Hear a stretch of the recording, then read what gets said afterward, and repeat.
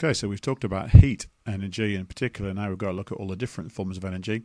This video should be fairly straightforward for you. This is just a reminder really of key stage 3 stuff, but it's very important that we get the basics right before we try and go to the harder stuff. Okay, so you need to learn the different kinds of energy. Um, so first one we've got is heat. Sometimes they call that thermal energy. This is just like it says, the energy of anything which is warmer or anything that's any temperature really has got some heat energy in, but the warmer it is, the uh, more energy it's got, the more thermal energy it's got in it. Okay, we've got light energy. Okay, fairly self-explanatory. Likewise with sound energy. Okay, the first one that gets people a bit confused sometimes is chemical energy. So this is the energy given out in chemical reactions um, which might be obvious sometimes in chemistry, but also um, food is a source of chemical energy because it gives its energy back by reactions inside your body, and also batteries.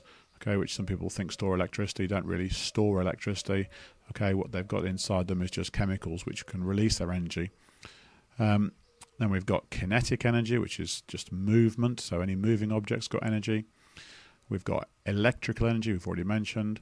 The one that you probably didn't mention in Key Stage 3 that will come up this year is nuclear energy. So this is the energy within the centre of atoms.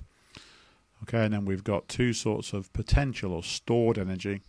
Okay, one is elastic potential, so this is anything which is stretched or squashed that will go back to its original shape, like an elastic band, obviously, is the most um, simple example. And then we've got gravitational potential energy. That's the energy of anything that's lifted up. Okay, so if you pick a rock up and put it on a shelf, you, it takes you energy to do that. You might get the energy back as it falls back down again. Okay, which leads us to this idea, which is absolutely the most crucial thing to understand the principle of conservation of energy.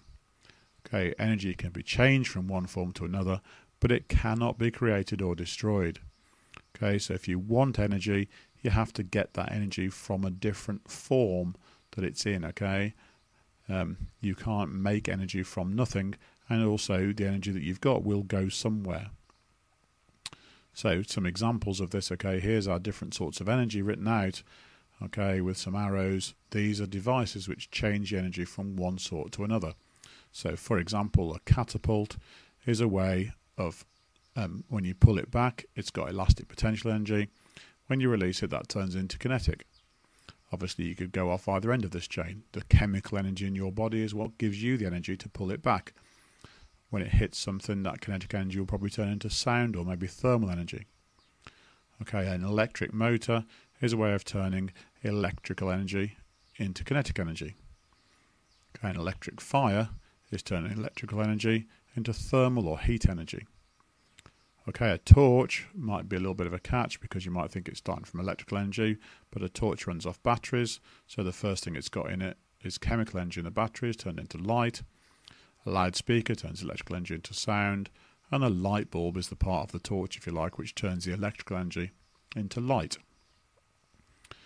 Okay, but hopefully in there you're thinking, oh, but it doesn't just do that. For example, a light bulb doesn't just turn electrical energy into light, some of the energy is wasted as heat.